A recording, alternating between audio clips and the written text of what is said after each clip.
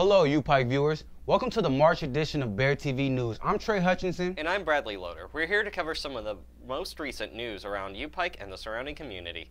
In today's show, we will be featuring stories on the latest Jenny Wiley play, an upcoming film festival, the football team's spring practice, and the record snowfall that shut down UPike for seven days. But for our first story of the day, Lauren Gregory brings us an update on the UPike men's and women's bowling team as they compete for a national championship. For the first time in four years, the UPike men's and women's bowling teams will be advancing to the national tournament.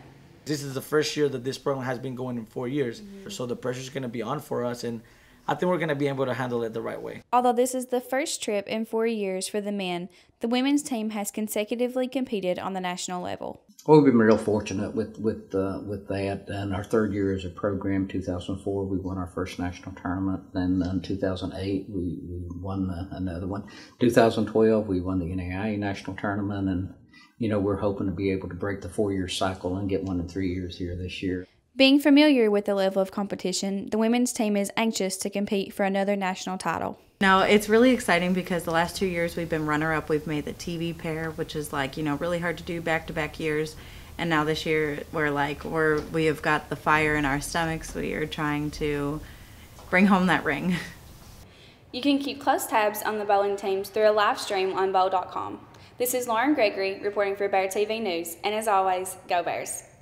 Great job, Lauren. We appreciate the coverage and wish both teams the best of luck as they compete. For our next segment, we will send it over to Adrian Smith, where he had a chance to report an upcoming production of Steel Magnolias at Jenny Wiley Theater. With the conclusion of their previous show, the staff of Jenny Wiley Theater are preparing for their next performance. This is Steel Magnolias, and a lot of people know the movie, but, the, and, but very few people know that it was a play first.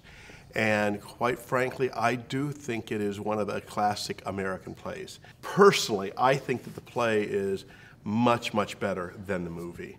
It's a play about Southern women, but really it's a play about all women. It's, it takes place in a beauty shop, in a, in a converted carport.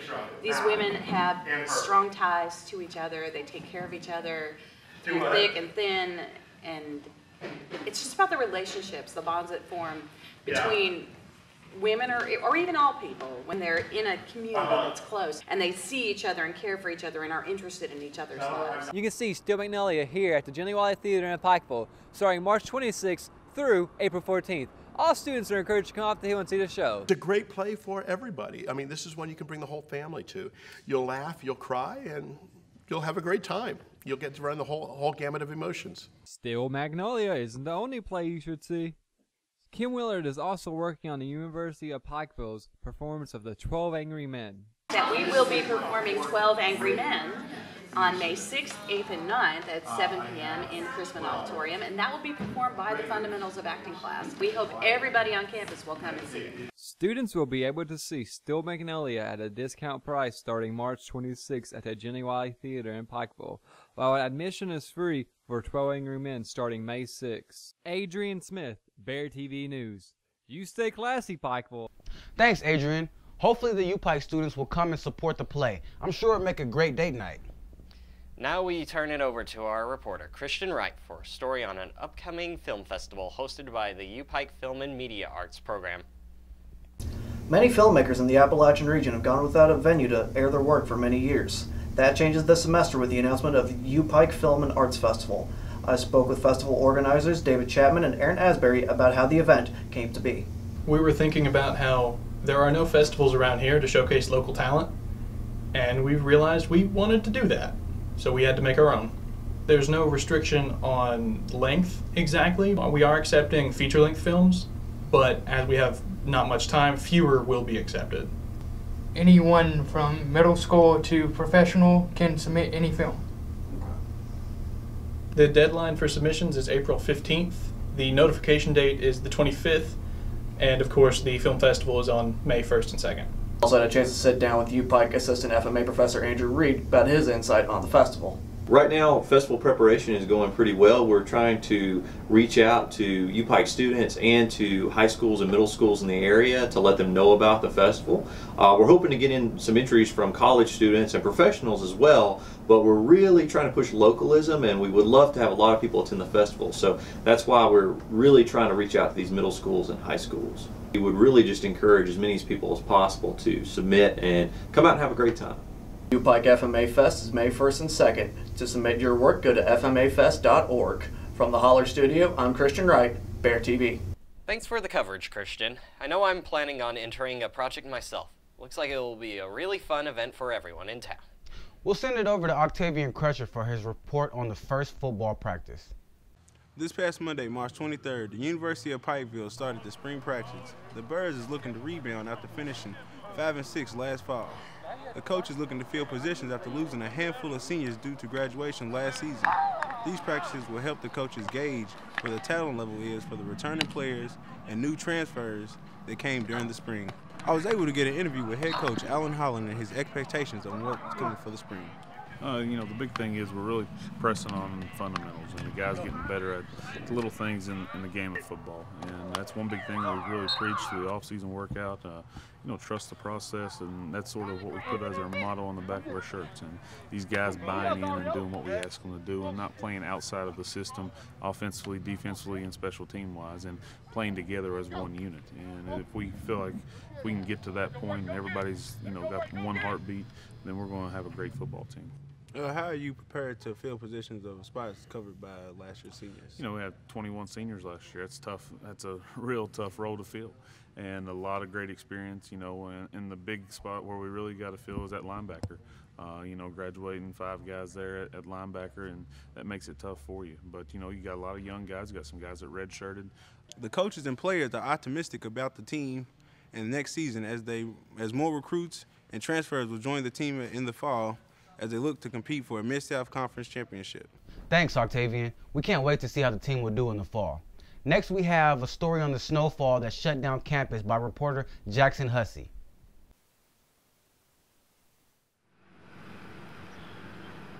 In 2015, the University of Pikeville recorded 14 inches of snowfall. This amount of snow ultimately led to water sanitation issues. Well, I've been here 15 years, and it's probably only the second time that we've had a bad snow here on campus. I would really like to thank uh, everybody who was involved with it, our uh, facilities maintenance crew.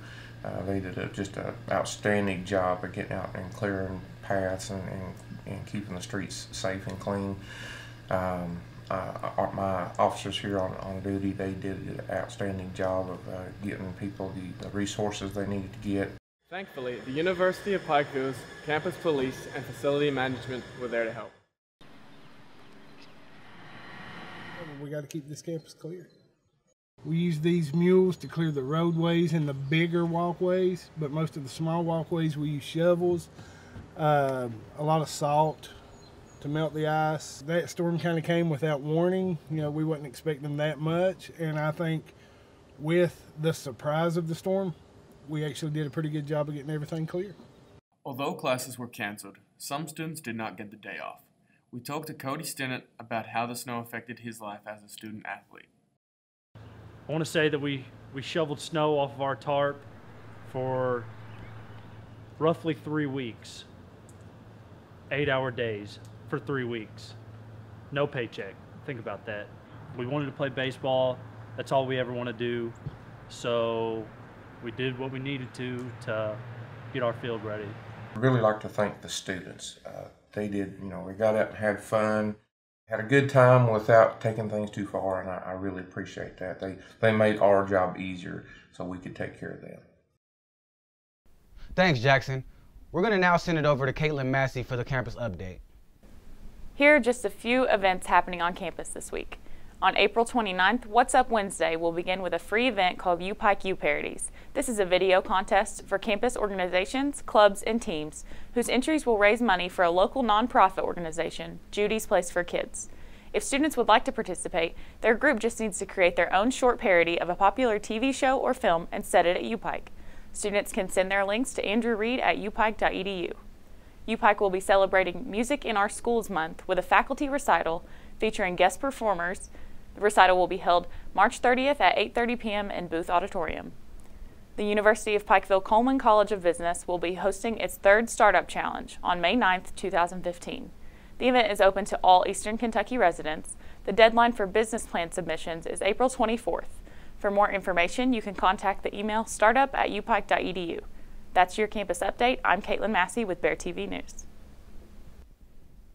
Thanks, Caitlin, for the information. Up next, we have a sports update from Eric Helvey. The University of Pikeville men's basketball team made it to the NAIA National Championship quarterfinals. There, they battled against the number two seed Talladega Tornadoes. The number seven seed U Pike Bears lost by only two points after a missed buzzer beater shot at the end of the game. Final score Bears 62, Tornadoes 64. We would like to give a special congratulations to Kenny Manigault for becoming the NAIA Division One men's basketball Player of the Year, becoming the first player in the University of Pikeville's history to earn the honor. For women's basketball, number six seed University of Pikeville was within four points of number three seed Langston. With under two minutes to play, unfortunately, the Bears came up short in the end for 80 to 71 loss in the first round of the NAIA National Championship. This has been Eric Helvey with your UPike Sports Update. All right, that wraps it up for this edition of Bear TV News. Thanks a lot, everybody, for joining us. For my buddy Bradley Loader, I'm Trey Hutchinson. We'll see you next time.